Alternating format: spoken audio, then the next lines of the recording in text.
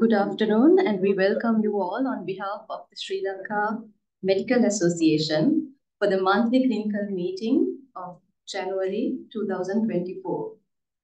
We apologize for the small delay, um, but we are ready to start off, uh, and we welcome you all who have joined online. Um, so to start off, uh, today's monthly clinical meeting, which is on some intricacies of measles.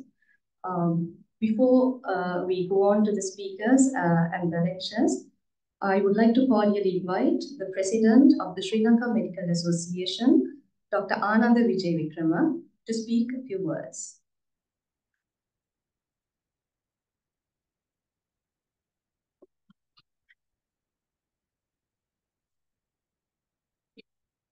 Uh, good afternoon, everybody. On behalf of SLMA, Uh, I welcome you all for this uh, uh, symposium on measles, which is a very current topic, and this is the first of this for the for 2024.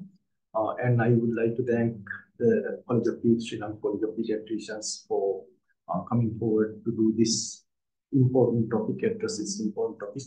As you all know, we are having an outbreak of measles.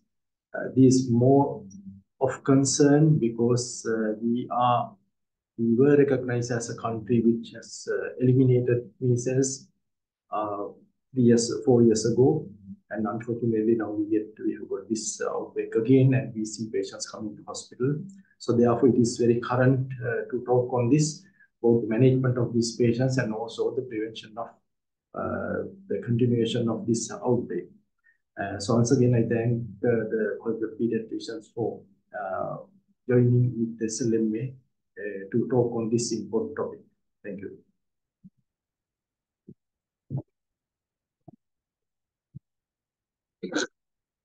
Thank you very much, sir.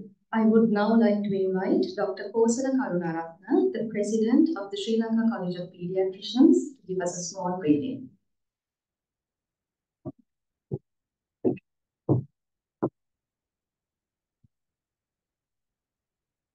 briefing. Good morning, everyone. Uh, I would like to uh, welcome all of you on behalf of Sri Lanka College of Paediatricians for this collaboration with SLMA, the monthly clinical meeting.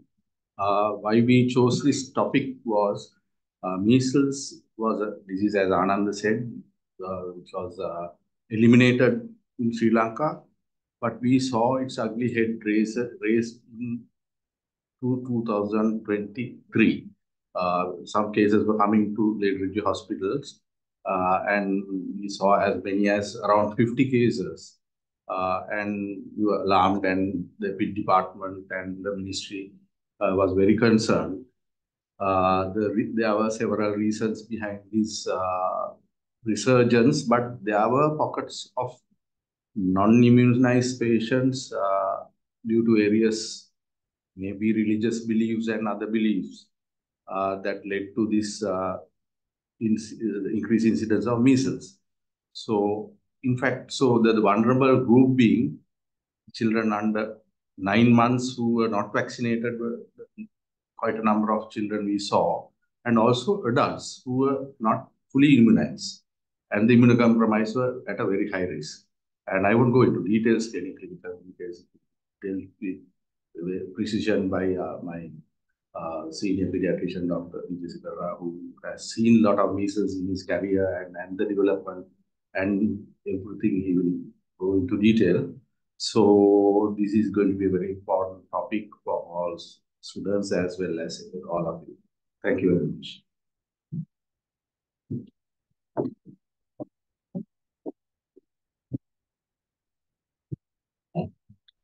Thank you very much, sir.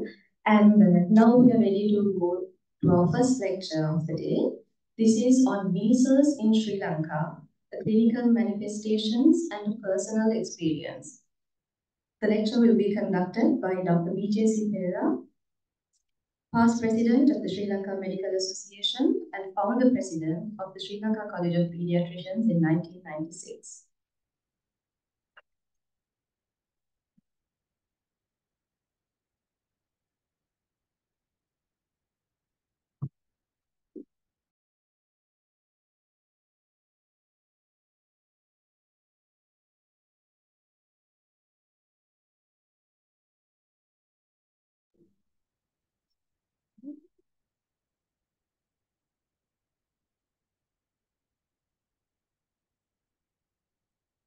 Yeah. Okay. No, it's me.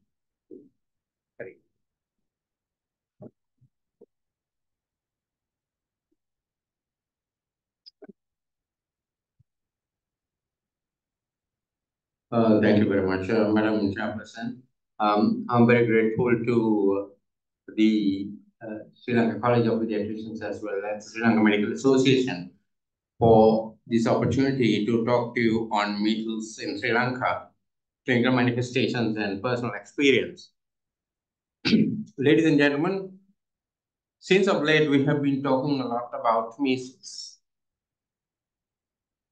However, one can never talk too much about a condition like measles. The reason being that measles is not just a common rash. It's a lot more to it than that. Measles, you might ask the question, now that we have heard that it was certified earlier, that is it a thing of the past? Yes, it was. Because from 2019, it was something definitely in the past. Until last year, 2013. Therefore, not now, not quite, not by a long shot. It became a thing of the past due to vaccination. And it is now raising its ugly head due to vaccine hesitancy.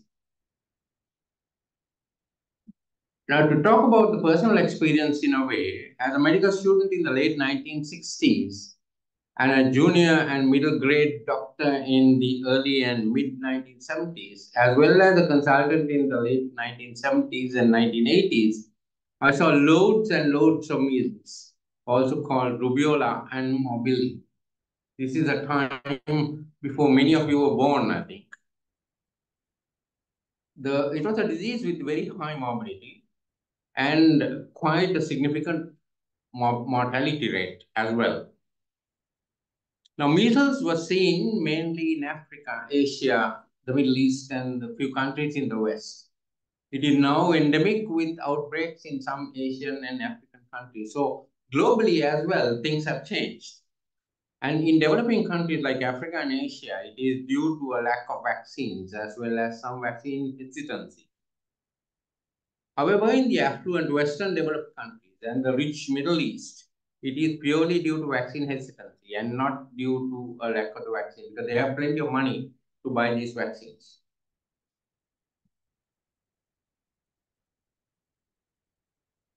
It is, measles is an airborne, highly contagious viral disease. And it is so contagious that in at least one research report, uh, that if you looked at 10 non-immune contacts who are coming to contact with the patient with measles for just one minute, nine would get it. So that is uh, as infectious as any uh, other disease, and it's certainly much more infectious than almost all of the infectious diseases that are around at the moment. It's a serious problem that can lead to complications and death. Um, and uh, it is not to be taken very lightly. And here are some of the complications. Keratitis and blindness, especially with those with existent vitamin A deficiency, and severe diarrhea leading to dehydration and death. These were not all that uncommon those days. Ear infections leading to deafness acute viral encephalitis uh, leading to brain damage and death, and major lower respiratory tract infections and pneumonia leading to death, as well as SSP, that is subacute uh, um, um, encephalitis, slow virus infection of the brain, uh, where the incidence is 1 in um, uh, 25,000 cases. Um, it is uh, SSP stands for subacute sclerosing encephalitis. Uh, the World Health Organization data uh, has shown that between 2000 and 2020, over a period of about 20 years, vaccination averted an estimated 37.1 million deaths due to measles globally. However, in 2019 alone, measles caused 207,000 deaths in the world. And in 2022, 83% of children in the world received at least one dose of measles vaccine before their first birthday.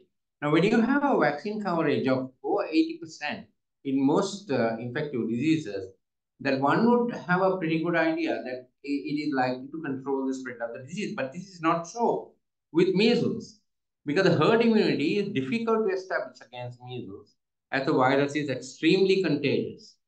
And you need a very high level of population immunity with two doses in as close to 100% of the population as possible, uh, which is required for significant protection. And of course, if you have vaccine hesitancy, that would scuttle all this. So you see the problem with measles. Now, there are many measles pockets globally, and it has been from 2019. This slide is actually from 2019. You can see according to the colors uh, that how much of spread there is in measles right across very many different continents. Now you go on to the clinical features of measles. The incubation period is 10 to 14 days, which is followed by high swinging fever, coryza, cough, and conjunctival effusion with generalized signs of toxicity and feeling ill. That's the start of measles, usually in very many cases. Although in some it may be quite mild, and uh, in fact, high swinging fever may not be found in a small minority. The characteristic Koplik spots appear by the second or third day. They are white spots on a red base in the buccal mucosa, especially around the upper molar areas. It is this. It was described by Henry Koplik, a New York pediatrician, as far back as 1896. Uh, and the classic feature of measles is the erythematous maculopapular and confluent skin rash, which appears by generally by the fourth day. And acute complications may develop from the fifth day onwards. So that's how it progresses. And here is a schematic representation of the various sort of features of measles. Uh, if you can, um, let me get uh,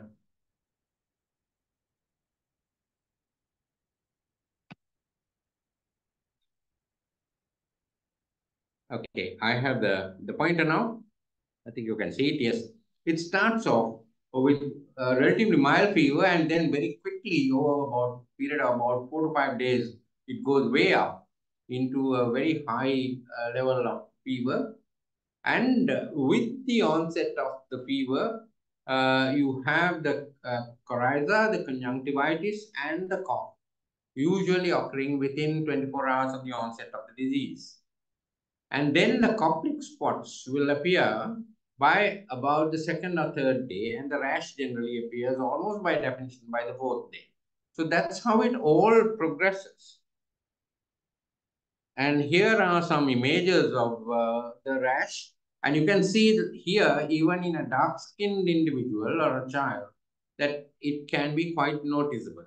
And these uh, yellow arrows show you the Koplik spots in the buccal mucosa. They are diagnostic of measles. If you see it, it can't be due to anything else. The acute complications that could kill are diarrhea leading to dehydration, acute encephalitis, there are several types of it, which I will talk about, um, and acute respiratory infections, which were really uh, quite important in those days.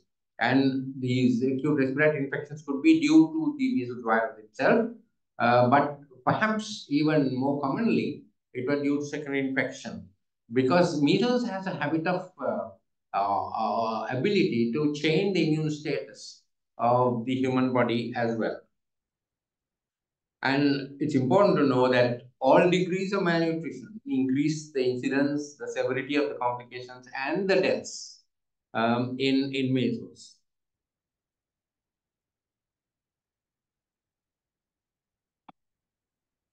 Management of measles, there is no antiviral drug that is effective. And what you need to do is standard non-specific treatment. Watch out for the complications. So you will look out for the respiratory infections.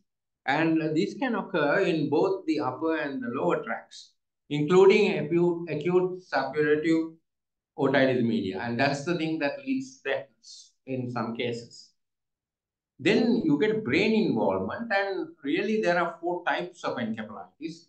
The first one is primary measles encephalitis. In the first week of the illness, Uh, the uh, incidence is about one in thousand uh, affected uh, measles affected uh, patients, and there is a mortality of about ten to fifteen percent during the acute phase.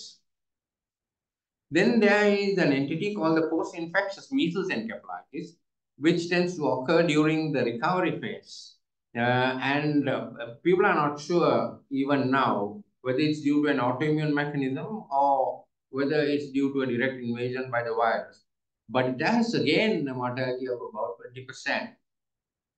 Then there is a protracted uh, kind of uh, type of encephalitis that you get. It's called the measles inclusion body encephalitis.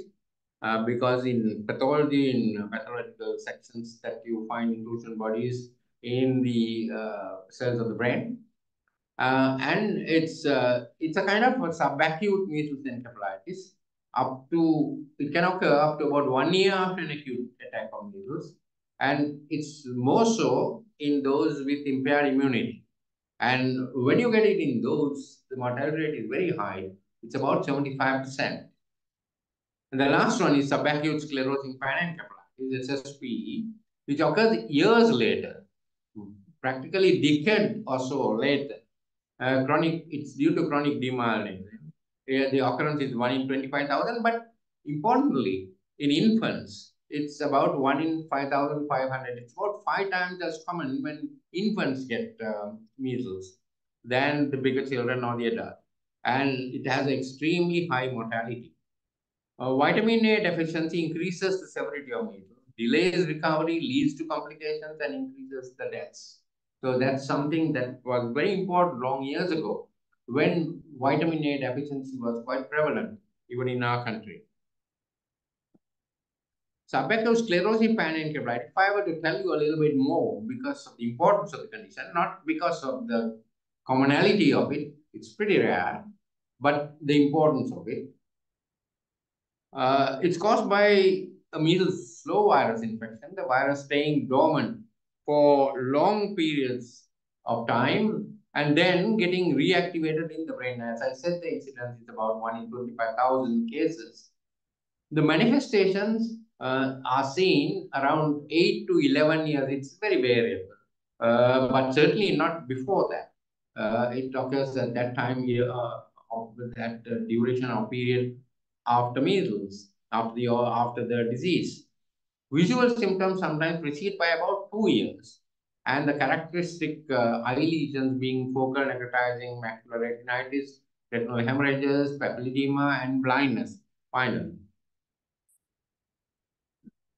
Uh, there is progressive cognitive decline. The higher functions of the brain go first. Uh, and initially, you may have personality or behavior changes, followed by poor school performance and intellectual deterioration. So that's the starting point of SSP and then there is steady deterioration in motor functions with myoclonus, autonomic dysfunction, and focal paralysis. Some have either focal or generalized seizures, and some of these seizures are sometimes very difficult to control. Uh, and patients eventually deteriorate and fall into a vegetative state or akinetic mutism, which is shortly followed by death. And the mortality rate in SSP is 95%. Nobody knows why 5% survives, but anyway, the mortality rate is that high. And there is no treatment at the present time, no treatment of any sort for SSP. So these are the two important things, uh, ladies and gentlemen, that it, it is a condition, a complication, though rare, which can occur with 95% mortality, and there is no treatment at the present time. An attack of measles per se confers lifelong immunity. Uh, we will talk a little bit about the immunity due to the vaccine a bit later. Uh, measles was endemic in Sri Lanka up to about the late 1980s with heavy outbreaks on and off. And the measles vaccination started in August 1984.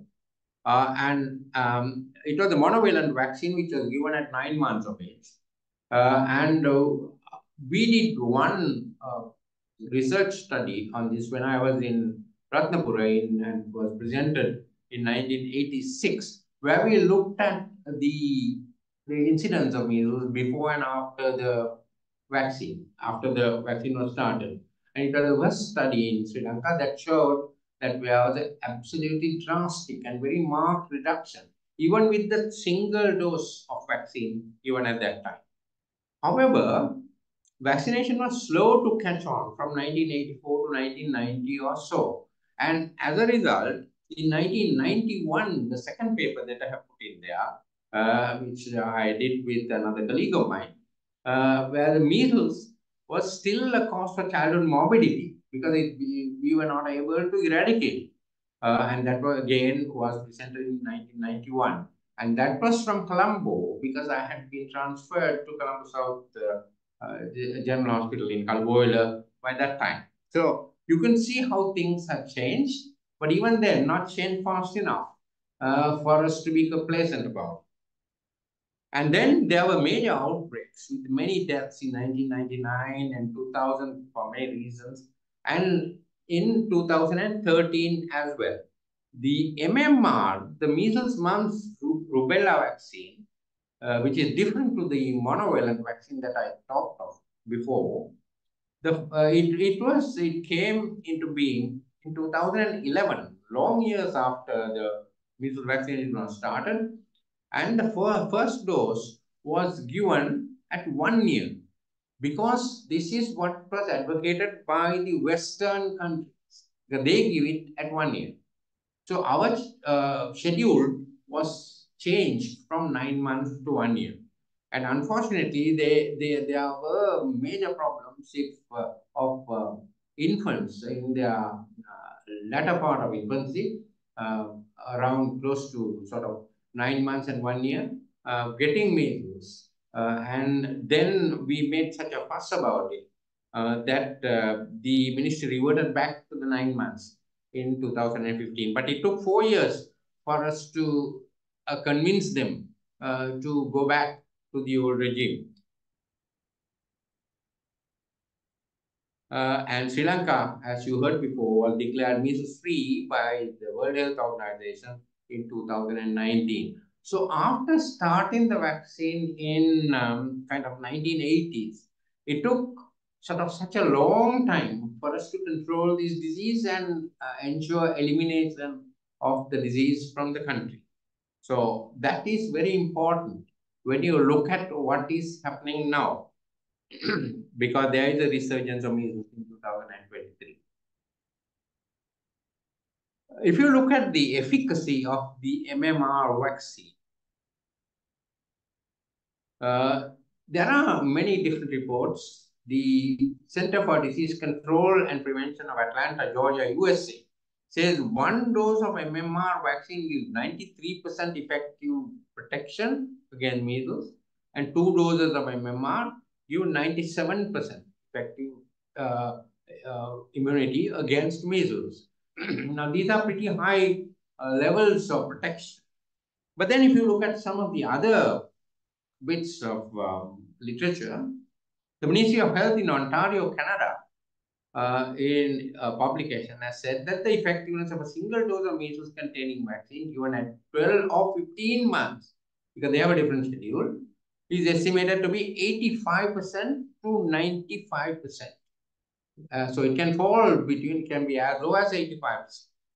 Uh, with the second dose, effectiveness is approximately 97%, the same thing that the CDC says. Then Science Direct also has published and said a single dose of measles vaccine provides protection to approximately 80% to 95% of young children in developing countries. So that, that becomes quite relevant to us in, we are in developing countries and certainly very important for the Asian region. Then the National Health Service of the United Kingdom uh, has said there is protection with two doses of the vaccine of MMR for over 20 years. Now they say over 20 years, but what does that mean? Is it for life? Not sure. We are not sure at all about it. Whereas the measles infection itself gives you immunity for life. The vaccine, they say the best they can say is for over 20 years. But because we don't know for exactly how long uh, that would be. but certainly does not seem to be for life. Now, these are some uh, some slides that uh, were very kindly given to me by uh, Dr. Samitha Ginige, the chief epidemiologist, where they have looked at uh, the uh, uh, the immunization coverage from 2018 to 2022. And the last two in each uh, column, uh, the greenish ones, are the MMR first dose and the MMR second dose. So you can see the coverage has not really fallen down very much. Um, and uh, even during the pandemic time, that it has not really dropped down all that significantly. It has been around kind of 98, 99% coverage. But look at this. The children with vaccine refusal, district-wise distribution of the 2021 birth cohort. Um, the, the, the top of the pops is Colombo uh, and uh, 627 uh, children uh, and the, refused the first dose.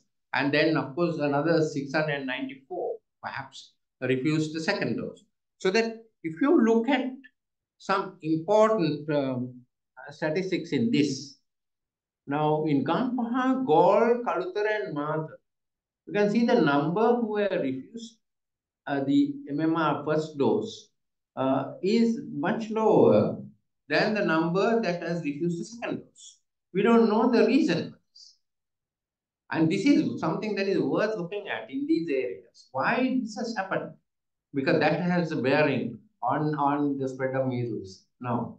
Because even if you have, as I said, uh, given one dose of MMR, uh, and according to most reports, that the best form of protection that you can get is about 80 to 85%, especially in developing countries. So that is not going to be sufficient to control a disease as infectious as measles. Now, here is a, a epidemiology plot uh, where now this is where it all started. Yeah, right in the um, left-hand corner. Just one single case in May in 2023, last year. And you can see the way it has gone right up to about uh, kind of August, like August, September. But still, you can see even in December. Here, in December, there are some cases that have been reported. So it has come down, but has not gone off. Now, another important uh, sort of an interesting uh, statistics uh, of the uh, occurrence in certain provinces, the western, northern, central, and Uva which had shown the most number of cases. But you can see the western again uh, is is uh, sort of overshadows everything else. Um, and uh, the number is numbers are pretty high. And here are the percentages. So most of these cases recurrence has been in Colombo, Gampaha, Kalutara, and Jaffna. Now, I think this is probably the most important slide of all because it has got a bearing on uh, the future and our management. Now, distribution of cases by age of the total number that we saw uh, in um, uh, 2023. Under nine months, 123, counting for something like 17% of all uh, reported cases. Nine months to three years, 93, uh, and that's 30. Now, the important thing about this is that this group, those under three years, is a group of children who has not had the two doses of the vaccine. At best, they have had one. So, now look at this distribution of cases by the numbers who have actually had the uh, the the vaccine. They looked at that, but what they found was that 204 have had a single dose of the measles containing vaccine. MCV refers to the measles containing vaccine. So which accounted for 28.7%. And unvaccinated, 326. Uh, just a little over 45 uh, percent. And vaccination unknown, 143, about 20%. So inadequate vaccination seems to be uh, the cause, and that is due to vaccine hesitancy. There were no cases in children who have had two doses of the MMR. So all those children who have been given two doses have been protected. And there were no deaths in children, quite unlike what we saw long years ago when I was uh, quite young. The current measles outbreak in Sri Lanka due almost entirely to vaccine hesitancy. There are some subtle differences, uh, like quite a number of under one-year-old children and one to three-year-olds. Um, variable heights of fever were seen. Rash could come earlier, sometimes rarely on the third day or much later, seven to eight days delay, especially in the immunocompromised. And quite a few got it uh, even after natural measles, mostly adults. Those who have had natural measles, uh, perhaps, I don't know how that occurred, um, or after even one dose of the vaccine. One dose of the vaccine you can expect, but uh, after uh, natural uh, illness, that it is pretty rare. And acute complications are about the same. And only some have post-measles staining, which is supposed to be characteristic of measles rash. And quite a few adults were affected, but none of the affected children have had two doses of the vaccine, as I said before. The vast majority have not had any doses of the vaccine at all. Infants under 12 months are particularly important. It is the age group in whom most of the complications occur. It's not only SSP, but other complications are also much commoner, especially the respiratory complications. And SSP occurs only uh, about in 1 in 5,500, that is five times more prominent than usual sort of occurrence rate in the other age groups. And quite susceptible due to very low antibody levels after six months of age. And this is purely due to another important fact that uh, the kind of antibody transfer across the placenta from the mother that we saw in those days when we were young uh, were due to the mothers having had natural illness and they have had measles as a disease.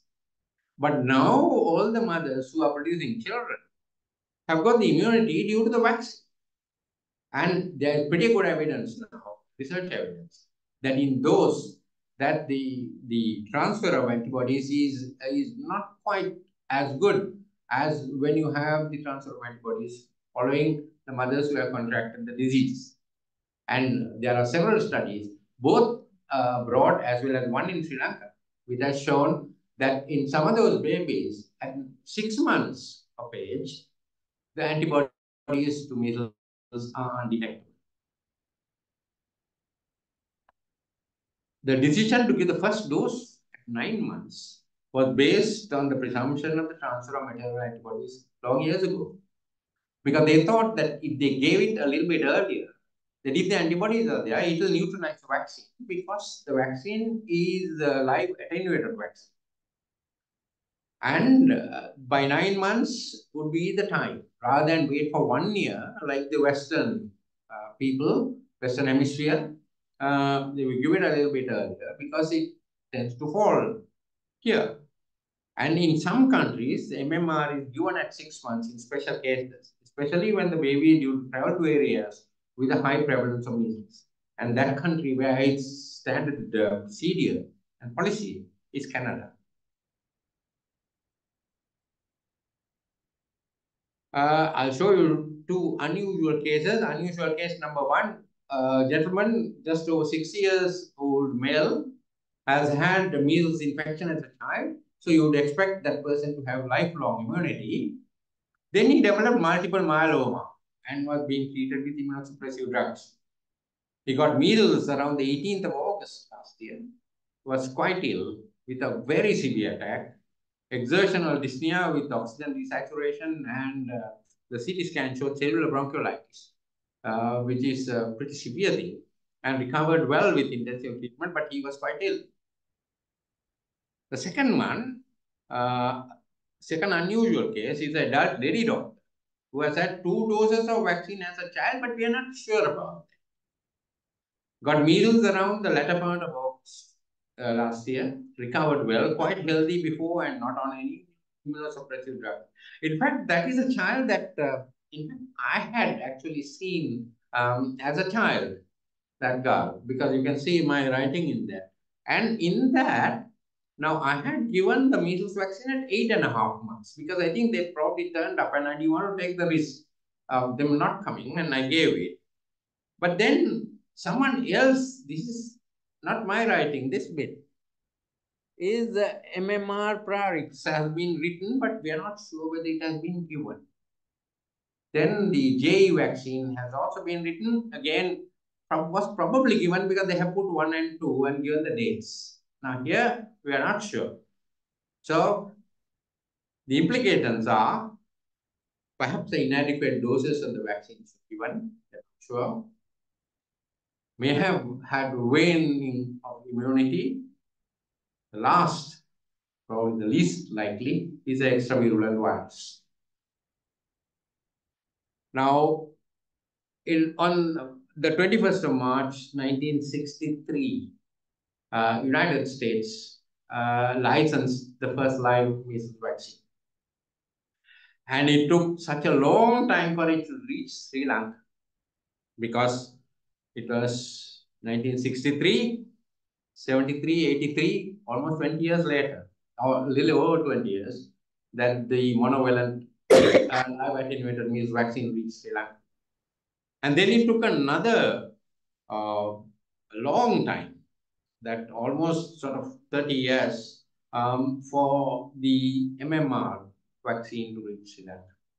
So that's how long these things take. And now, since 2005, there is a new combined measles, mumps, rubella, and varicella, that is chickenpox vaccine, that have been available in the world, but not used in Sri Lanka yet.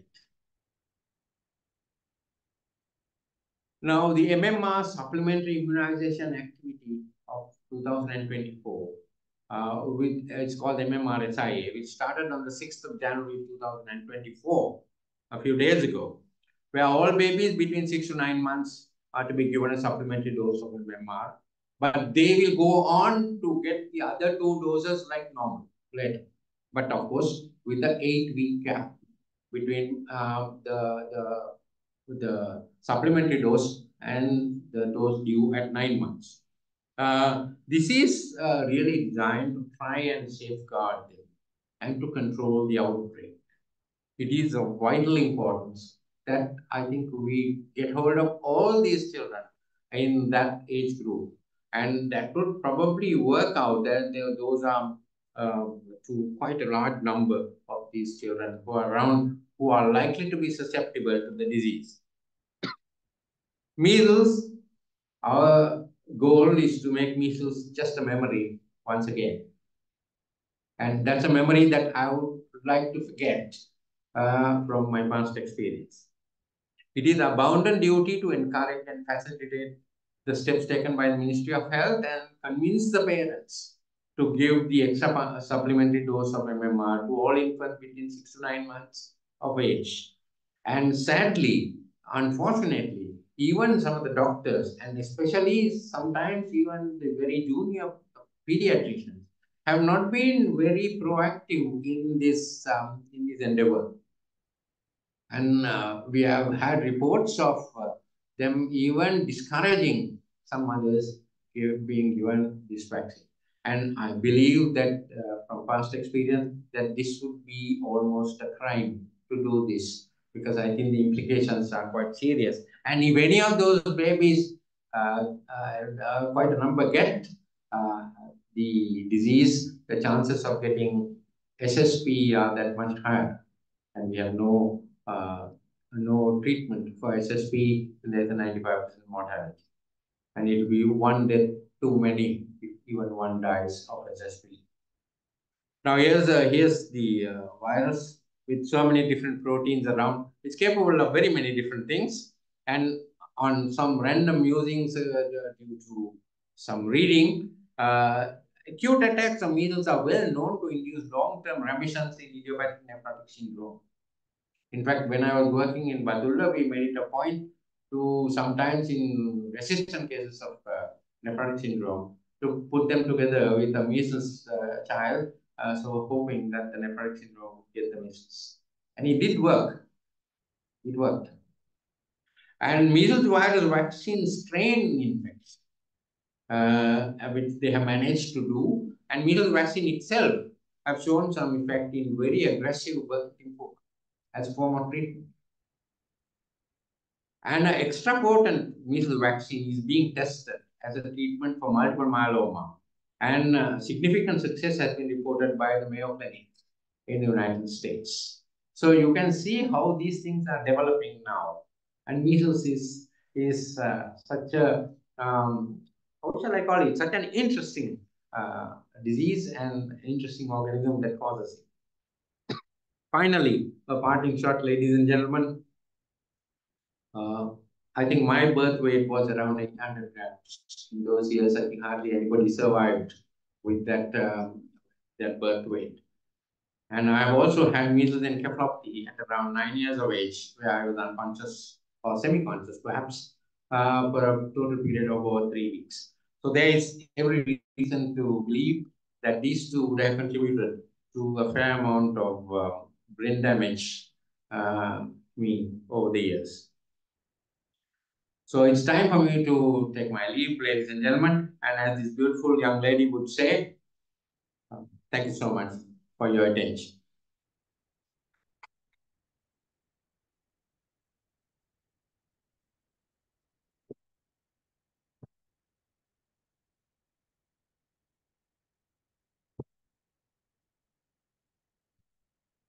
You very much, sir, for that very interesting talk uh, on measles. And we have our next uh, lecture for today. This is on rubella, congenital rubella and mumps. And this will be presented by Dr. Asanda Randapaksa, consultant pediatrician based out of Madavila, and the web editor of the Sri Lanka College of Pediatricians.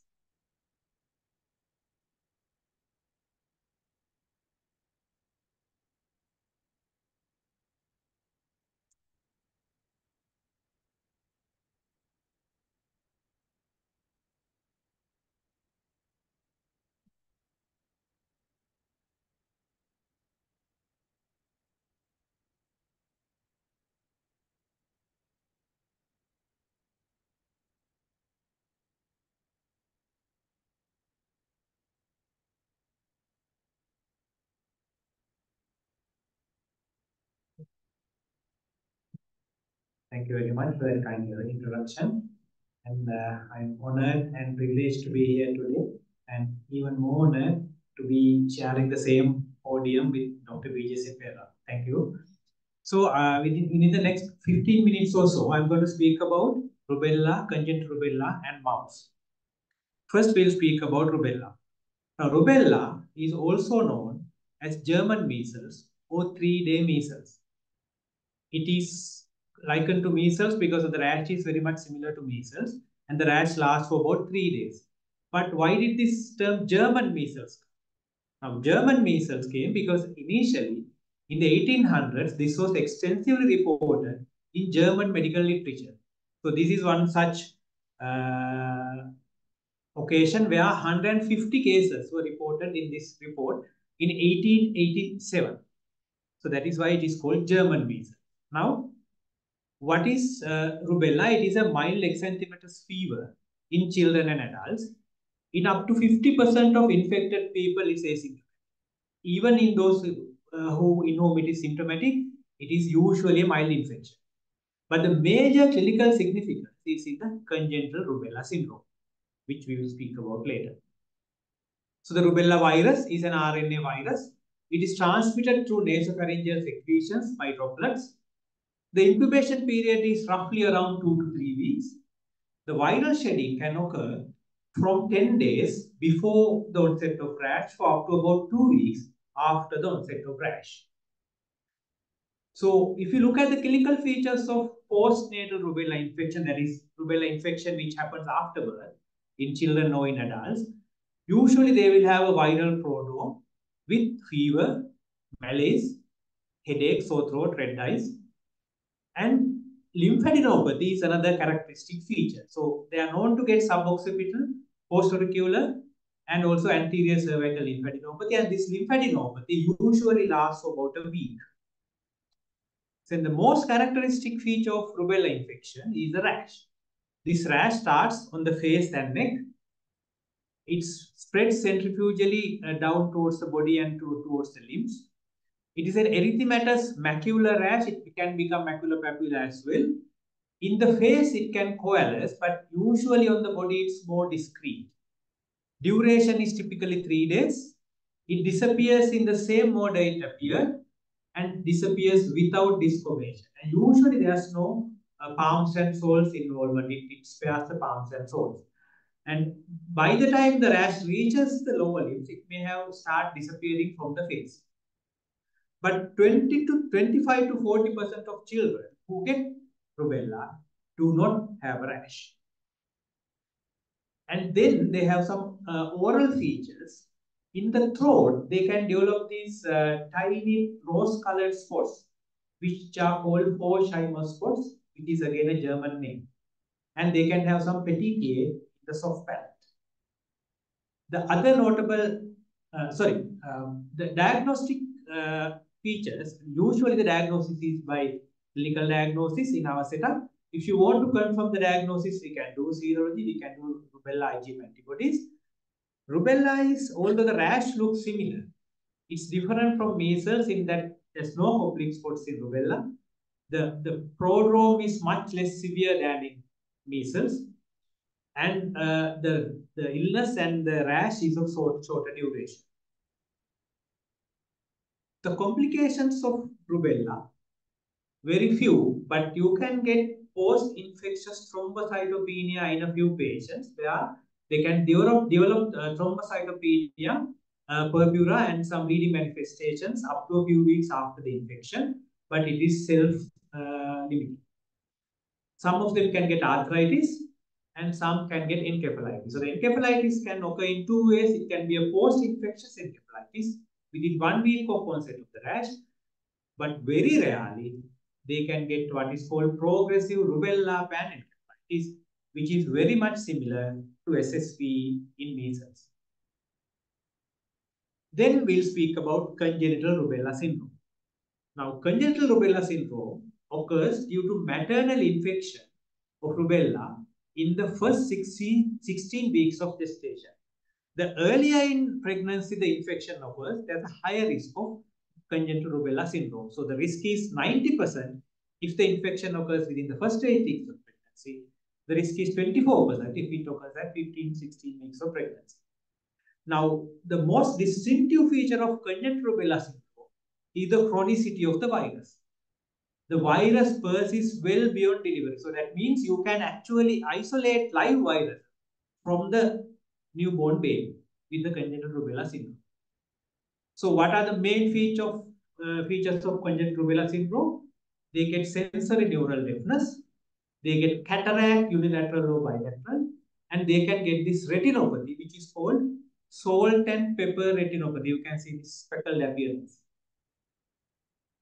They can get uh, the commonest cardiac complication they get is patent arteriosus, but they can also get pulmonary stenosis, both peripheral, also at the valvular level. They can get low birth weight and psychomotor retardation. So this picture will show uh, all these features. So when they can get meningoencephalitis, microcephaly, mental retardation, hearing loss in about 60% of patients, glaucoma, cataracts in about 43%, pigmentary retinopathy, congenital heart disease, radiolucent bone disease, hepatosplenomegaly and jaundice, purpura thrombocytopenia, and also low birth weight. So these are this is a spectrum of congenital rubella syndrome. So how do you diagnose congenital rubella syndrome? there should be the presence of at least one of the characteristic clinical features which we, which we described earlier, and there should be laboratory evidence of congenital rubella infection. So you can look for IgM antibody in the baby, or you can look for IgG antibody. But the IgG antibodies, as you know, can be transferred from mother passively. So how do you know this is due to congenital rubella infection? If the IgG antibodies are of higher titers and persisting longer than expected, then we can say it is due to congenital rubella infection. You can also do viral isolation and PCR to confirm the presence of rubella.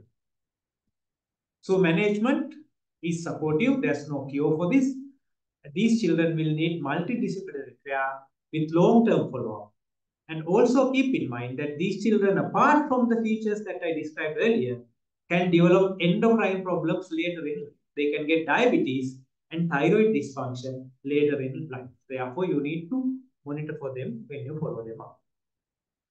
So, from rubella and congenital rubella syndrome, let's move on to the next topic, the last topic, mumps. Now, mumps is an RNA virus. It spreads by respiratory droplets. The incubation period is about two to three weeks. The viral shedding occurs from about seven days before up to seven days after the parotid swelling. The clinical features include a prodrome lasting one to two days, including fever, headache, body aches, and vomiting.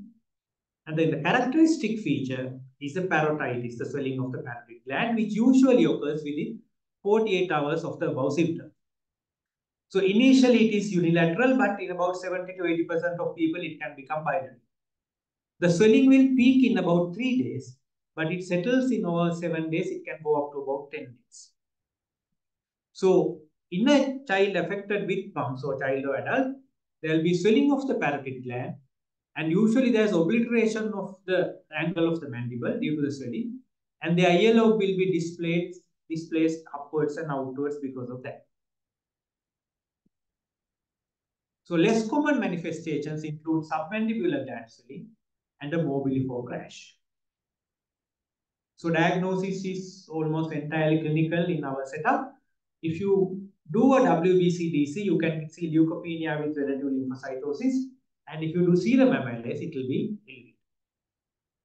If you need to confirm the diagnosis, you can do serology, IgM antibody, or you can check for IgG antibody in the acute or convalescent phases, and you can show an elevation of the T.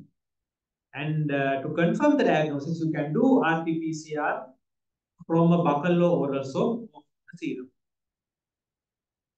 So what are the complications of mumps? Now, in about 10 to 10 to 30 percent of infected people, uh, they can develop meningitis or meningoencephalitis, the typical viral meningitis. Then some can get epididymo-orchitis. But this is entirely, almost entirely it occurs in post-pubertal males who get mumps. So it's very rare in children. Uh, males who get mumps after puberty, 30 to 40% can get epididymo-orchitis. Uh, but contrary to popular belief, subfertility is quite rare following this. So mumps can also cause other problems like pancreatitis, myocarditis, arthritis, and sensory neural deafness. So there's no specific treatment. Prognosis is nearly always excellent. So I will finish with this last slide. This is the mandible of an elephant. So you might think what this has got to do with mumps. There's a traditional remedy in Sri Lanka where if somebody gets mumps, they would take a piece of elephant mandible, grind it to powder, make a paste and apply it over the mandible. I know of this because when I got mumps as a nine-year-old child, my parents applied it on my uh, parotid area. I don't know why I got better because of that or not. Uh, anyway, thank you very much.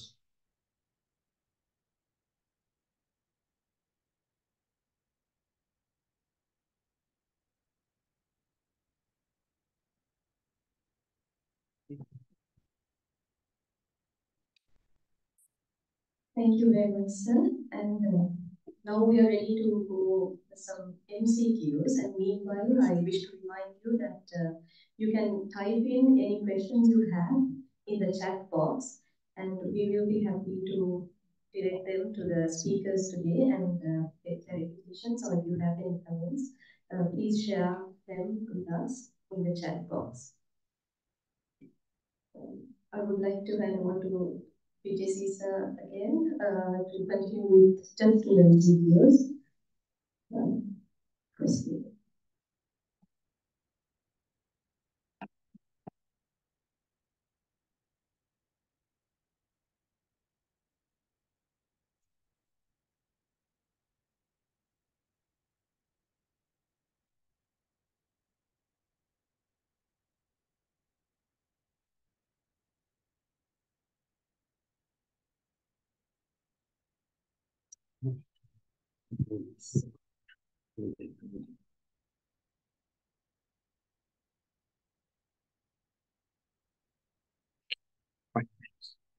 Thank you.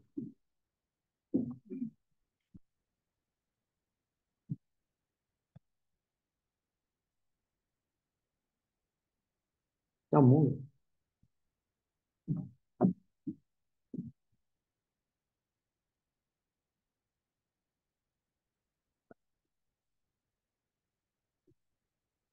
Um, we have only just two MCQs because SLMA requested us to make some MCQs of presentation. Um, the first one, the following are true of measles. High fever is a mandatory clinical feature. Koplik spots appear after the skin rash. The rash shows centrifugal spread. Measles is infective only after the rash appears. Complications do not occur after recovery. So um, uh, I think, you know, this is sort of hopefully the answers are obvious after what I told you um, before. Uh, high fever is not a mandatory clinical feature because it is seen at a lower degree in some patients. And extremely rarely, measles have been presented even without illness. Um, Koplik spots appear after the skin rash, not so. It appears well before. And that is the importance of uh, this because it, it is of diagnostic significance, especially during epidemics. Um, the shows centrifugal spread, that's correct. Starts in the face and neck area and then spreads across, right down. Uh, the rash shows centrifugal means like a centrifuge, it spreads outwards. Measles is infective only after the rash appears, not so it's very much more infective even in the prodromal stage, that even before the rash appears, uh, it is quite infective.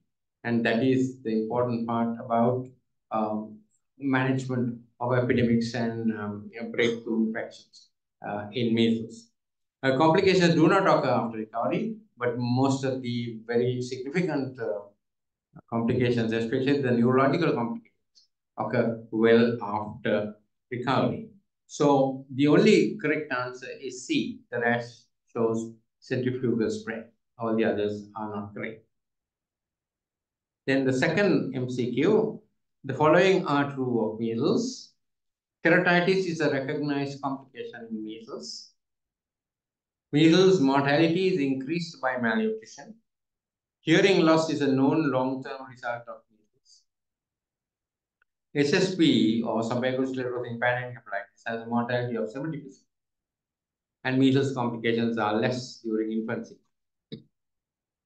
Well, I think uh, all of you would probably be quite uh, conversant with uh, the uh, different manifestations of measles now. So the correct ones are keratitis is a well-recognized complication in measles, especially in those who are already deficient in vitamin A. And B is measles mortality is increased by malnutrition, that's correct. And hearing loss is a known long-term result of measles because when you talk about measles, very few people actually think of hearing. So this is important thing to remember because that is secondary to acute suppurative otitis media. And uh, sclerosing panencephalitis, the mortality has a mortality of much more than that. It's about 95%. And measles complications are less during infancy, not so. All the complications are much more during infancy. So that's the end. Thank you very much. Over to you.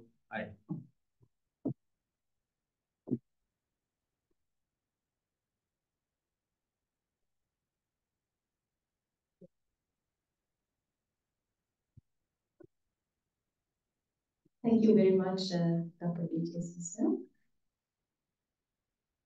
We are now ready to take any questions that you may have. Um, there are two questions in the chat. Um, I would like to direct them uh, to our speakers. The first question is, how long does it take the baby to be free from IgG, IgG rubella transferred from mother? How long does it take in the baby to be free from IgG rubella transferred from the mother? And I would like to invite Dr. Asangram to answer this question. Actually, I haven't uh, come across the exact period, exact duration uh, it lasts. What the literature says is now if you clinically suspect uh, congenital rubella as the child is born with the clinical features.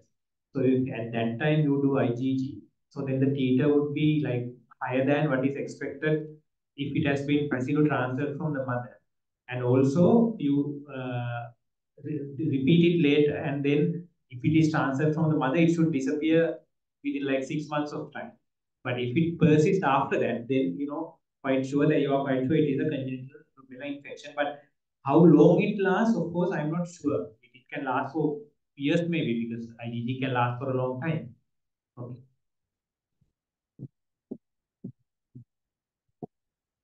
Thank you very much. Uh, the second question, after starting of Koplik's spot, how many days it is infective? After the start of Koplik's spots, how many days it is infective? Uh, this is a question on measles. Uh, to you, Mrs.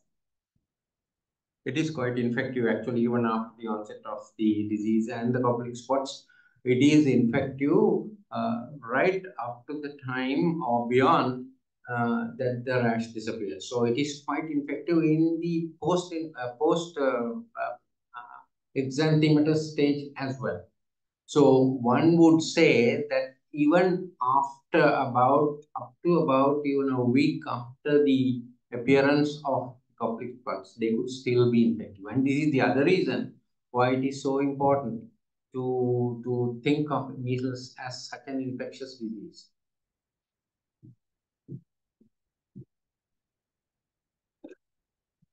I hope that uh, answers your question. And if there are any more questions, we will keep the chat open uh, for a few more minutes. Meanwhile, I would like to open the question Q&A session to anybody in the audience. You have any questions, you can raise them. We have another question on the chat. How can you differentiate between mumps and recurrent parotiditis of childhood, which is non-infective? How can you differentiate between mumps and recurrent parotiditis of childhood non-infective? Over to you, Dr. Sander. Uh, of course, mumps, once you get mumps, it's very unlikely you will get mumps again because you will develop some natural immunity. So if it occurs again and again, uh, I mean, by the name itself, it implies recurrent parotiditis, but clinical features like I mean, there will be swelling of the parotid gland, uh, and the mumps will have the, the might have the, the prodrome, know, the, the fever and the other features. Uh, other than that, of course, I don't think there is any really distinguishing features if you take the parotitis itself.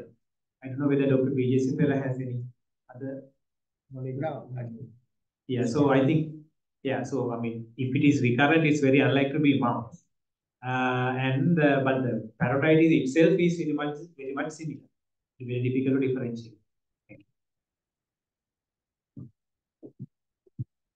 We we do have seen recurrent parotitis, but the presentation is quite different.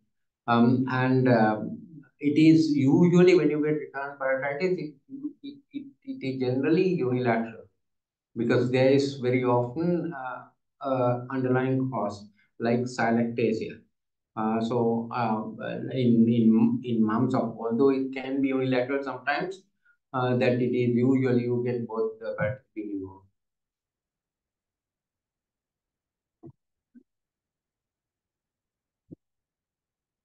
We have another question on the chat. Sir recently developed many antiviral medication, but why is there still no treatment to measles? I'm afraid I can't answer that question. Um, people have tried some of the available viral drugs and none of them have really been effective.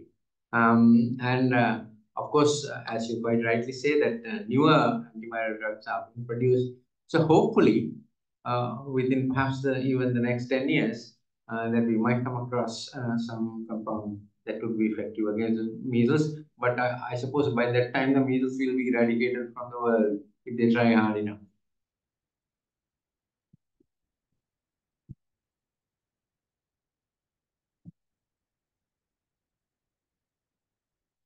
Yes.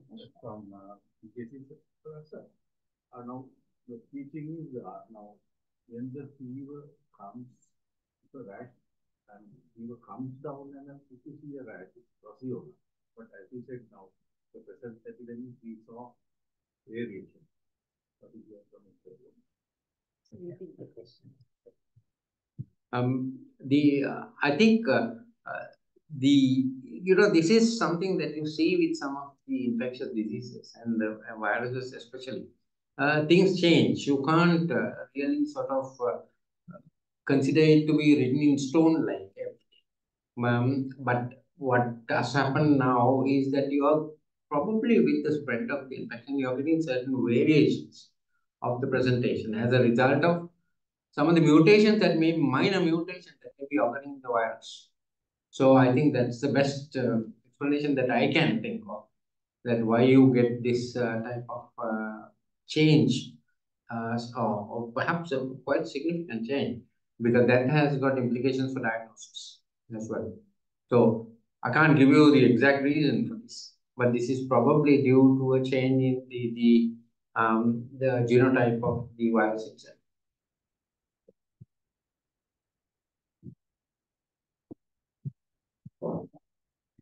We have another question on the chat.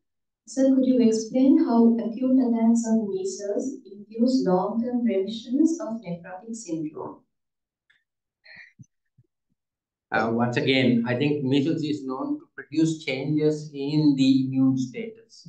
It has got implications for various types of um, uh, conditions uh, where a change in the immune status may be beneficial.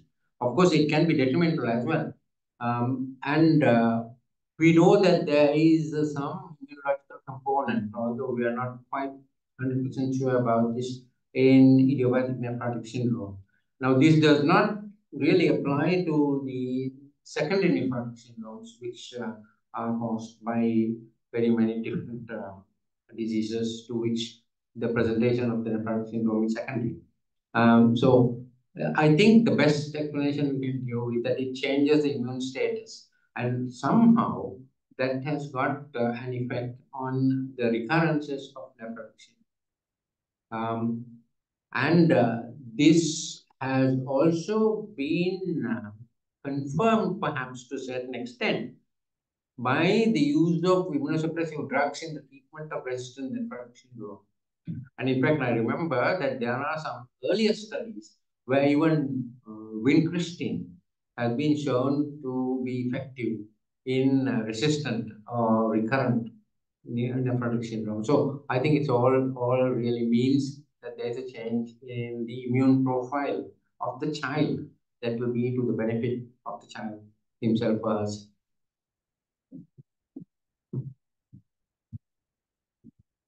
Thank you, sir.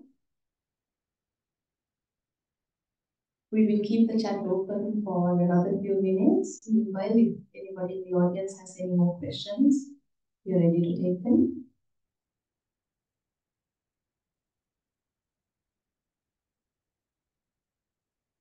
Feel free to share any experiences or any other comments that you have to make on the diseases discussed today. We have one more question in the chat.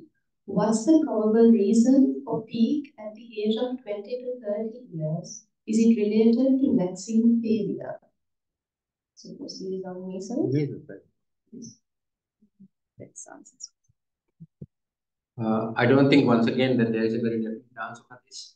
Uh, but we know that artificially induced immunity has a higher uh, propensity to develop waning of, of, uh, of the immunity. And this is classically seen, as I said, in uh, measles, uh, where the natural disease itself causes or leads to, with some very small exceptions, lifelong immunity. And that can wane off due to several reasons. One thing is changing of the immune status of the person. So that is what happens with, you know, various types of lymphomas and uh, Burkitt's lymphoma, multiple myeloma, all these kind of thing. That uh, thing. But why it tends to wane off uh, from uh, the, in a normal person by about you know 20 to 30 years after the vaccine was given, I don't think we know for sure.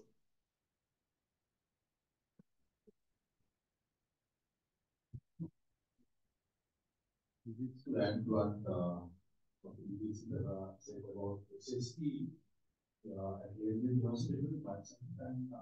there are factors following the cohort of SSPE patients after 2030. Uh, yeah, most of these children have not received the vaccine. And uh, we were trying uh, practical. Nothing worked. Most of the children are dead by now. See all the complications going through the families. And uh, maybe the message I want to give all the audience. Because I have seen the SSPE patients first time please uh, help our vaccination. Uh, thank you so much. I pray to high heaven that someday they will find a some form of treatment for SSPE because as I said, uh, it is a death certificate when you make a diagnosis of SSPE. Uh, and so far, absolutely nothing has really uh, of any use at all. Even the the convulsions that you get later on in the, in the advanced stage of the disease are extremely difficult to control and they are very distressing to everybody around. Thank you. So there's another question on SSPE. Uh, sir, can the MMR vaccine induce SSPE? Not to the best of my knowledge. Um, we haven't actually, I mean, uh, it would account through if it was there. The MMR vaccine ran into a little dispute uh, uh, quite a long while ago due to one paper that was published in the Lancet by Andrew Wakefield, uh, where he linked this to the onset of um, autism and autism spectrum disorder uh, there. And then what happened in England, that is published in England, was that all the mothers went berserk. They went bananas over this paper because it was published and uh, publicized in the newspapers as well. All of them uh, stopped giving uh, the uh, measles vaccine and the MMR vaccine to their children. And as a result, they had major epidemics in the country. And later, it was shown that this was a completely fraudulent paper and Andrew Wakefield was found guilty of uh, academic misconduct and his license was withdrawn and he's no more a practicing doctor. Uh, so that's the kind of thing. So that was the only thing that was linked to the vaccine. But uh, certainly SSPE has not been linked to the best of my knowledge.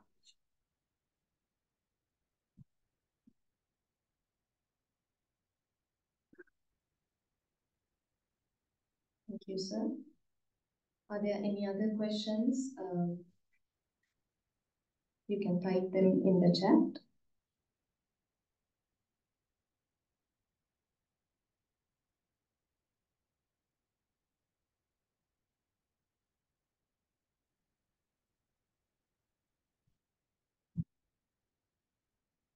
If there are no more questions, um, we would like to conclude the first clinical meeting of the Sri Lanka Medical Association for the year 2024.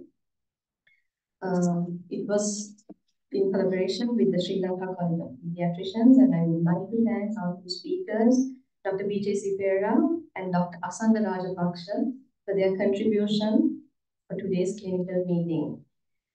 Uh, before we conclude, as a note of appreciation, I would like to invite the Secretary of the Sri Lanka Medical Association, Dr. Lahiru Kodituwakku, to please present our letters of acknowledgement to the two speakers.